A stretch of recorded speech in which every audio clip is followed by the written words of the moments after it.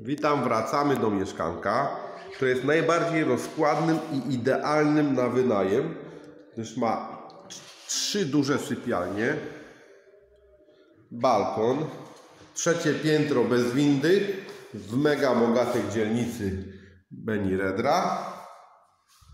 I te mieszkanie dzisiaj opuszczono cenę na 51 tysięcy euro. Prawie 100 metrów kwadratowych.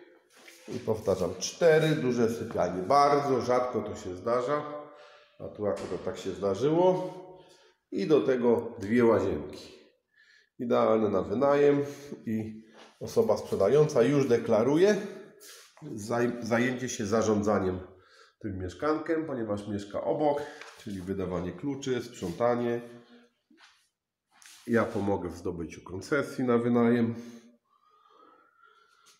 No trzeba to zrobić troszeczkę po swojemu, poprawić te mebelki, ale mieszkanie jest naprawdę ładne.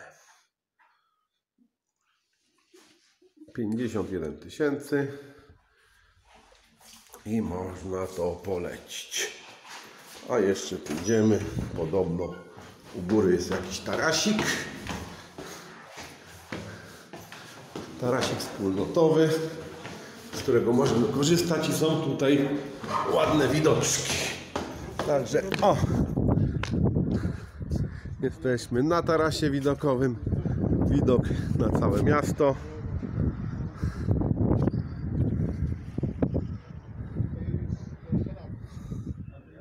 Można sobie postawić fotelik, palać się lat, zamontować satelitę.